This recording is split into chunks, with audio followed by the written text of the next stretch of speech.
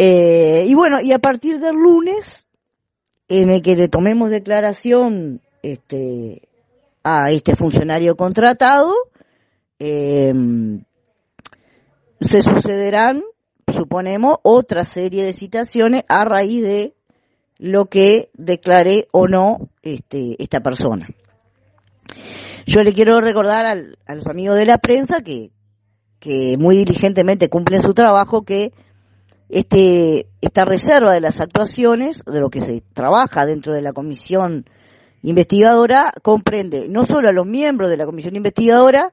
sino también a los funcionarios integrantes de la misma y aún a los funcionarios municipales intervinientes en la misma.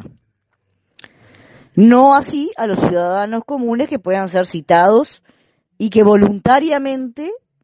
eh, deseen ir a declarar. Llámese ciudadanos comunes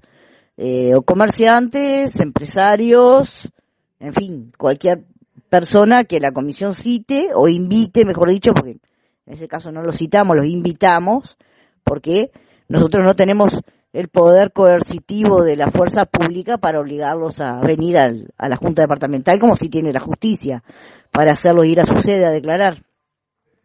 En ese caso, a esos ciudadanos no los comprende la reserva de este, las actuaciones, y la reserva de lo dicho y de lo actuado dentro de la comisión.